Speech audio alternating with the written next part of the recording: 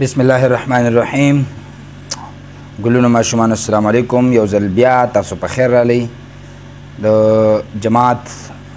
چهارم په دې کلاس کې تاسو ته د باب اول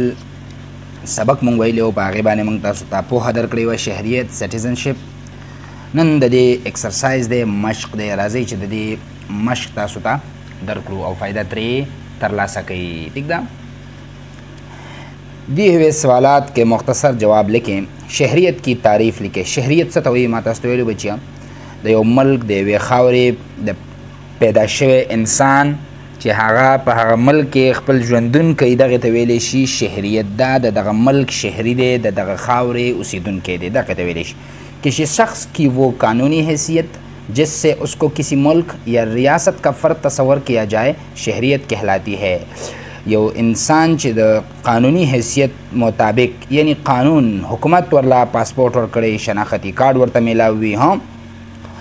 د دغه په ثبوت باندې د د کوم ملک اوسیدونکو وی نو دغه انسان ته د دغه ملک شهري ویل شي ټیک شو بچا شهري او عالمي شهري مې کیا فرق ہے که تاسو ته یادې به چې موږ یو درې خبرې کړې وې شهري عالمي شهري او ډیجیټل شهري دا درې وړه خبرې موږ په د دې په لومبۍ ویډیو کې خو په تفصیل باندې تاسو ته کړې وې شهري څه ته وایي د یو ملک اوسیدونکی باشنده هغه د هغه ملک شهري دی عالمي شهري څه ته وایي هر هغه انسان چې هغه د خپل کور د خپل گاوند د خپل چم د خپل کلي د ملک نه علاوه د ټولې دنیا د بلایې سوچ کوي د ښېګړې سوچ کوي هغې ته بیا عالمي شهري وي یو ډیجیټل شهري سوال کې هغه نشته دی خو درته ویل ضرور دي ډیجیټل شهري هغې ته وایي بچیا چې یو انسان چې هغه د نن سبا الکترونیک میډیا استعمالي ټیکنالوژي استعمالي د موبایل د انټرنیټ د واتس اپ د انستګرام د یوټیوب فیسبوک دغه سیزونه د انټرنیټ استعمالي د موبایل استعمالي دغه کنیکشن استعمالي ګوګل کروم نو دغه انسان ته به چې بیا ویلی شي ډیجیټل شهري دا درې خبرې مونږه کړې هم وې به هر حال راځي شهري او عالمي شهري کې څه فرق دی شهري کسی ملک میں پیدا اور رہنے والے لوگ اس ملک کے شهري کہلاتے ہیں په یو ملک کې یو کس پیدا شي او په هغې کې اوسېږي خپله ناسته پاسته خپل مړی ژوندی خپل زندګي خپل تجارت کاروبار کوي دغه انسان ته ویلی شي شهري ورپسې دی عالمي شهري څه ته ویلی شي عالمي شهري هغه ما تاسو ته ویل سه مراد وو بنده جو خپل ګر قوم او ملک کې سات سات دنیا مې رهنه والے تمام افراد کی بلای کې لیه کام کرتا هو کې لیه دې کې لیه پاتې شوی ده ولیکئ کې لیه کام کرتا هو اوس کو عالمي شهري کهته هې ما تاسو ته ویل که نه چې صرف د خپل کوټې خیال نه ساتي د خپلې بسترې خیال نه ساتي د خپل کور نه د خپل کلي ګاونډ چم نه د خپل د ملک او د ټولې دنیا د ښېګړې سوچ ساتي، دغې ته عالمي شهري وایي، لکه عبدالستار ایدي، قائد اعظم محمد علي جناح، ډاکټر عبدالقدیر یا هغه جرمن کومه چې معالجه وه، جرمن راغلې چې وه، ډاکټر رود فاو، مدر اف لیپرسي چې ورته ویلې شي، د جذام یا د کوړ بیمارۍ علاج چې پاکستان کې شروع کړی و، دا ټول عالمي شهري وو. ښه. شهریو کو حقوق فراهم کرنا کس کی ذمه داری هی؟ جواب، شهریو ته د اوسیدونکو ته خپل حقوق ورکول د تعلیم حق ورکول، د ازادۍ حق ورکول، د رای حق ورکول، د خوراک د اوسیدلو حق ورکول، د کور د لباس دا څیزونه اوسیدونکو ته ورکول دا د چا ذمه داری ده؟ دا د حکومت ده. شهریو کو حقوق فراهم کرنا حکومت کی ذمه داری هی؟ نو اوسیدونکو ته خپل حقوق ورکول فراهم کرنا. دینا دا د حکومت ذمہ داری ده ها دی هوی دی باندې پوښي بچیا لکه مونږ ته به د تعلیم سیستم څوک برابرې حکومت دا ذمہ واری ده چې مونږ ته سکولونه کالجونه یونیورسټیز جوړ کړي ټیک شو زمونږ د صفا اوبو نظام به څوک برابرې دا د حکومت ذمہ واری ده چې هر کور ته صفا اوبو پرووایډ کی ټیوب ویلې ولګي ټیک ده دغه سي بجلی مونږ ته راکي دغه سي زمونږ د ډیلی استعمال کوم ضروریات دا زمونږ پوره کی بس دا خبره ده دی ہوئے سوالات کې تفصیلی جواب لیکې تفصیلی جوابونه دي آپ کې خیال میں انسانی حقوق کا تحفظ تحفظ حفاظت کیو ضروری ہے د انسانی د حقوقو د انسانی د حقونو حفاظت ولی ضرور دی چند بنیادی انسانی حقوق تحریر کرے سو بنیادی د انسانی حقوقو تاسو ولیکئ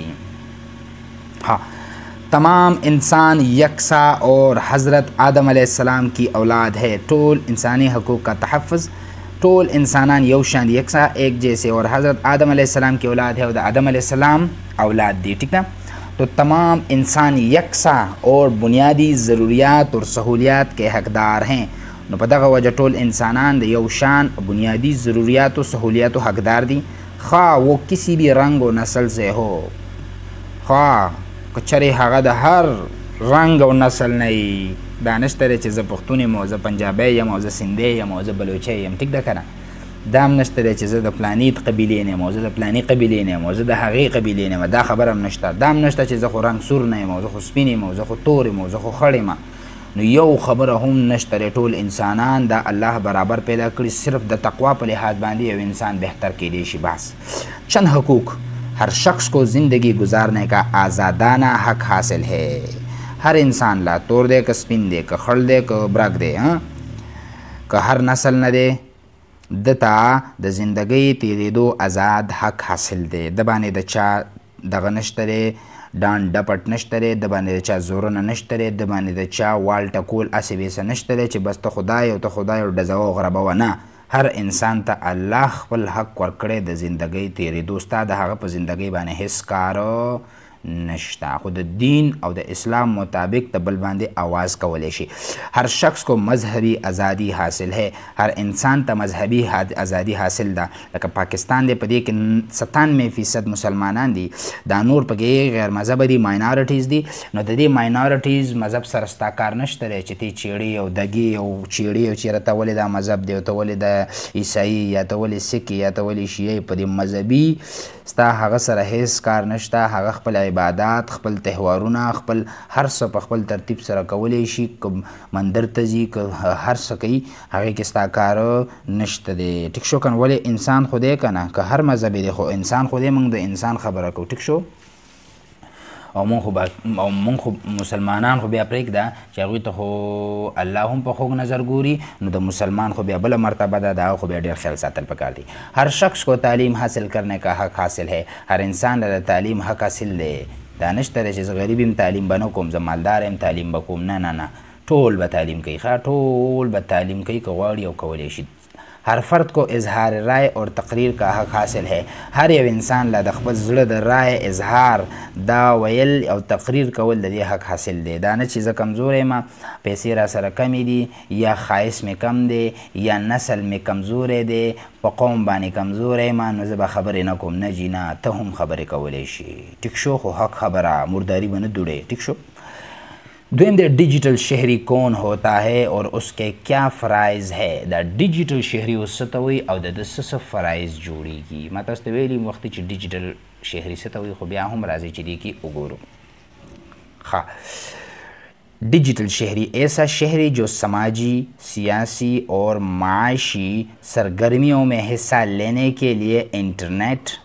اور دیگر ڈیجیٹل ټیکنالوجي که موثر استعمال کرتا هو ډیجیټل شهري کهلاتا هې هغه شهري اوسیدونکی چې د سماج سماج معاشره ته وایي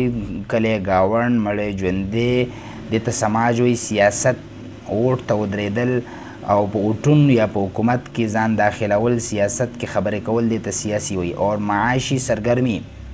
معاشي لین دین کاروبار تجارت دا معاشي د دې لپاره انټرنیټ استعمالوي یا نور ټکنالوژي سبا زیات تر کاروبارونه په انټرنیټ باندې دي ما ته دا چیز په کار دی په واتس اپ تصویر ولیږي هلته مال ورولیږي نو انټرنیټ دا د تجارت کار هم نن سبا کوي انتهایی زیات تجارت په دې باندې کیږي نو د دې لپاره چې څوک انټرنیټ او موبایل او ټکنالوژي استعمالوي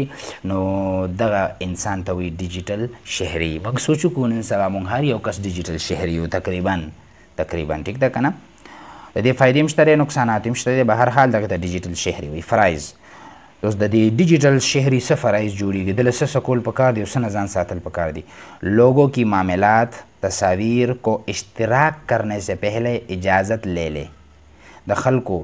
معاملات تصویرونه اشتراک مطلب شیر کول یو بل سره شیر کول کرنې سه پهلې اجازت لې لې دا نه چې په انټرنیټ باندې دی ډیر پوهیږي او هیکینګ کوي او د یو چا تصویران او معاملات او خبرې اترې او د کاروبار لین دین یو بل ته سینډ کوي او هغه کس بدناموي دسې به نه کوو لوګو کی ذاتی معلومات کی حفاظت کرې د خلکو به ذاتی معلومات حفاظت کوو همدغه خبره ده چې تا ته انټرنیټ باندې عبور ډیر حاصل دی په انټرنیټ باندې ډیر پوهیږي نو ته به د خلکو ذاتی معلومات نه راوباسې او هغه به شرمې نه هغه ذاتی معلوماتو کې به ته کار نه ساتې دا ستا فرض جوړیږي د دې به درنه تپوس کیږي بچیه. ټیک ده چې ته خو په انټرنیټ ډیر پوهیږې کوم یو انسان پوره دی یو انسان هم پوره نه دی نو ته د ولې بل پرده اوچته پرده دری ولې کې نو دا باندې کې به چې دا تا باندې فرض جوړیږي ستا مسلمان ور دی ولې شرمې غلط اور غیر اخلاقی معلومات پھیلانے سے گریز کرے غلط او غیر اخلاقی گندگی فحاش او غلط معلومات یا هغه معلومات چې د هغې څه پروف نه وي او هسې به څه شیر کول لکه یو کس یو حدیث نیټ له ورکړي که نه فیسبوک له وټساپ له او هغه بس بل شیر کوي او بیا بل شیر کوي او بیا بل شیر کوي او هغه اصل کې غلط وي چا هسې اخیستی نو داسې به نه کوو اول به د اسلامي څیزونو تصدیق کوو چې ایا دا څیز ټیک دی که نه بعد د هغې نه به بیا شیر کوو ښه نو دغه څیزونه به نشه او غیر اخلاقي چې هغه مرداري وي ښه فحاش وي او غلط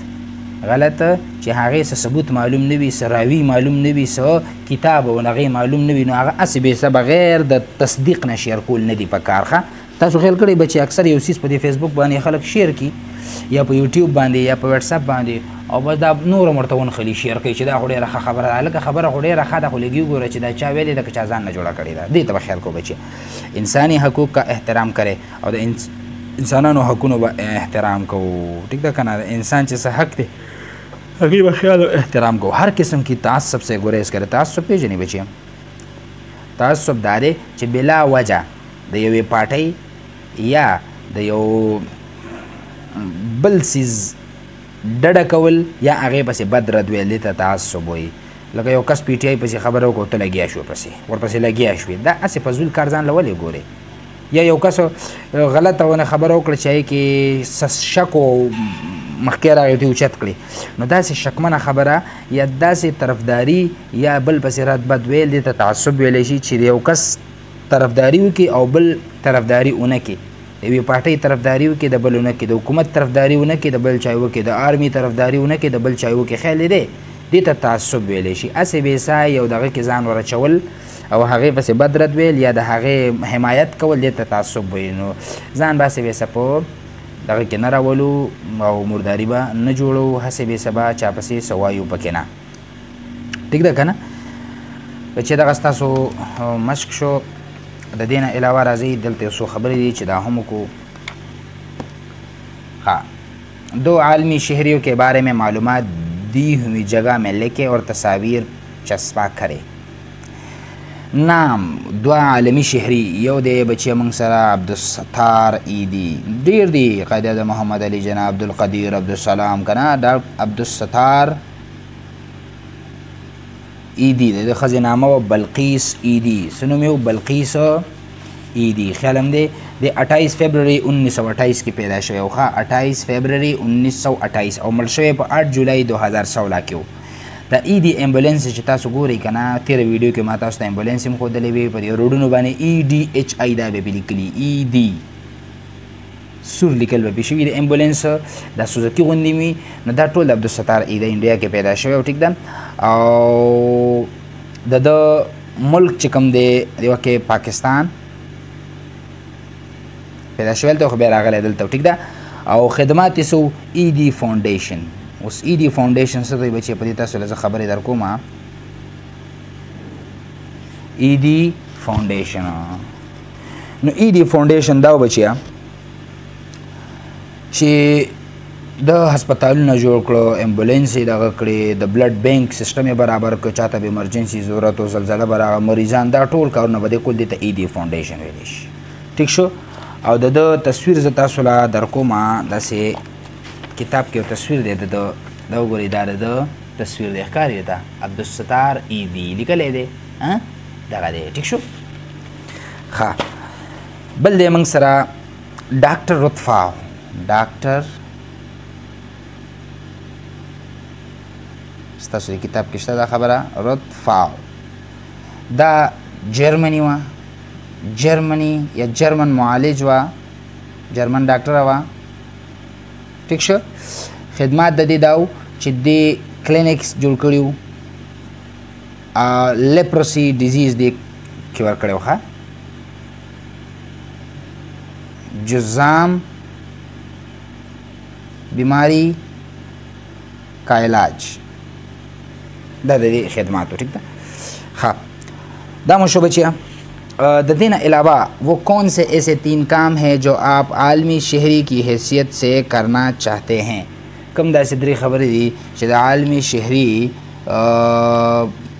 په نسبت باندې ته کول غواړي نو ته به دې کې ولیکه چې کوم دې خوښه یې صحیح ده انساني حقوق کې حفاظت کرنا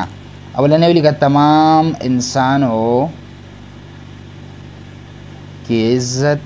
کرنا د ټول انسانانو به عزت کوم کاغه هر څوک وي کاغه غیر مسلم یو کنا ٹھیک شو انساني حقوق کې حفاظت کرنا د انساني حقوقو په خیال ساتم د چا حق ته بغلې کېږم نه انساني حقوق کا خیال رکھنا دو شو دریم د ماحول کو صاف رکھنا ماحول کو صاف رکنا بچې دا درې کارونه به خامخا کوئ که تاسو عالمي شهري ځان جوړول غواړئ د ټولو انسانانو د هرې خاورې د هرې خطې د دې به تاسو عزت او احترام کوئ د ټولو انسانانو د حقوقو به خیال ساتئ په انټرنیټ باندې یا همداسې مخامخ یا کلي ګاونډ کې هم او خپل ماحول د کور د کلي ګاونډ د ملک د سکول د دې ماحول به هم صفا ساتو نو تاته به څه ویلی شي عالمي شهري به تاته ویلی شي اچھا جی سرګرمي به تور طالب طالب علم اپني حقوق اور فرایض ایک چارټ بنائے کا ایک چارټ بنائے کمره جماعت مې اویزا کرے د دې یو چارټ جوړ کړي او خپل کمره کې په سکول کې را را زوړن کوي او هغه باندې خپل عمل کوي ټیک ده بچیا دغه تاسو ایکسرسایز شو ان شاء الله بل ویډیو کې مونږ تنوع اور رواداری دا به وایو چې دا څه ته ویلی شي په دې کې کومې خبرې اترې دي ان شاء الله دا به تاسو ته ډیلیور کوو